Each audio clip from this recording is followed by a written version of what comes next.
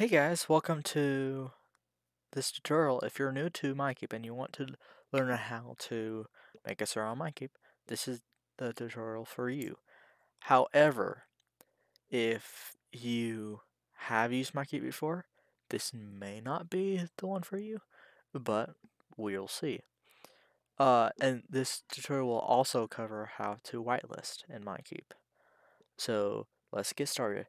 First things first, you go to minekeep.net. And now, once you're on this page, go to create server, continue with Google, or continue with GitHub, whichever one that suits you. And now you're on, you were brought to this page, server details. And now name your server whatever.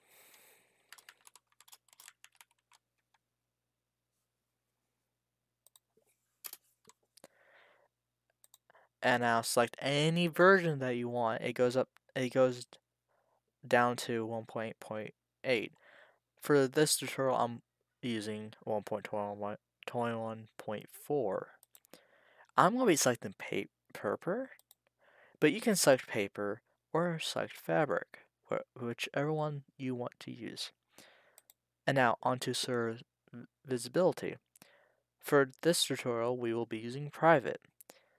However, if you want to make a public server, you press public and beware, there will be there will be people out there that will break a bunch of rules that you have set. So in my next tutorial, which may be later on, I will make a guided tutorial how, tutorial how to set up the right plugins for your server. But right now we will be using private for um, for making whitelist. Now, to uh, we will be using free plan for this one, but we you can use Empire, Nation, City, Villager, or free. We'll be using free. Continue. And now this is kind of neat. Serve serve summary. It tells us our server, what type of server, and the version, and it tells us what we get in the free plan. And it's also hidden from the MineKeep lobby. Now press create server. And now you'll be taken to this page. Server created. Your microserver is now ready to use. And you know what's cool about this? You can also join your server on the hub, play.minekeep.net, by running slash join the server name. I think this is an awesome feature. I'll be showcasing how to do it from the lobby as well. And now, once you're in, this is Java Edition. This is the IP. Import. Go ahead and copy this. And this, or whichever one that you use. And if you're on Bedrock, this is a port for you. Alright, with the same IP. Now go to server panel. I now type on, uh, click on start.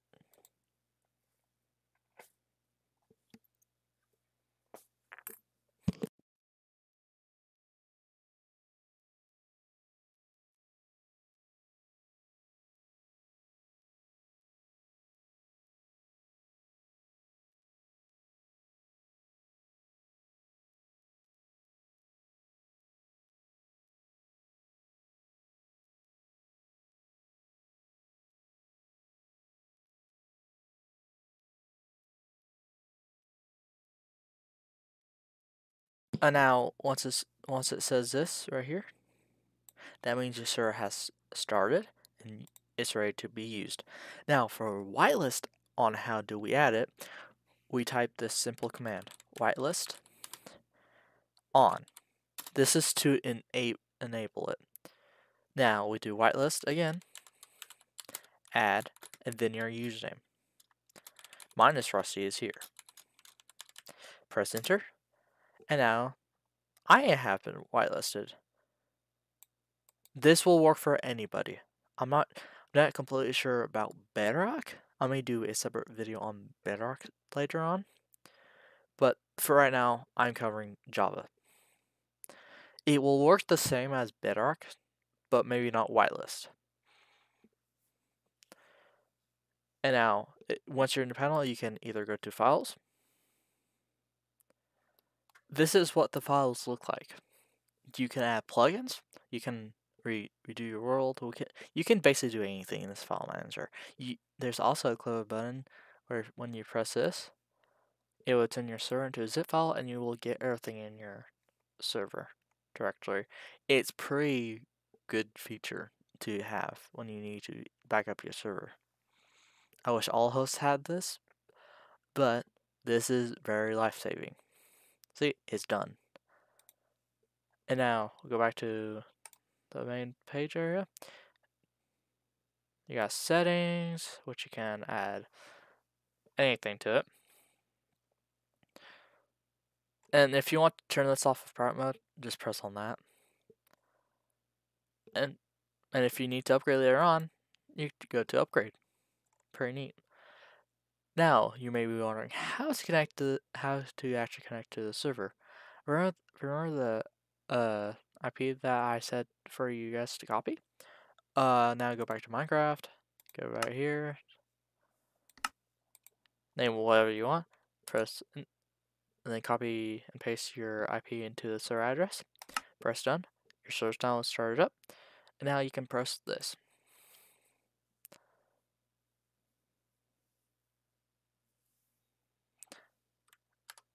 And there we have it. This is how you can make a server on MineKeep update. This is this has been updated. Uh, I'm planning to make a lot more about this. It is this feature is pretty good.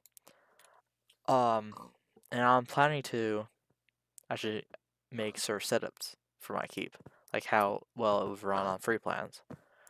I am planning to start doing that since I know a script, a little bit of script.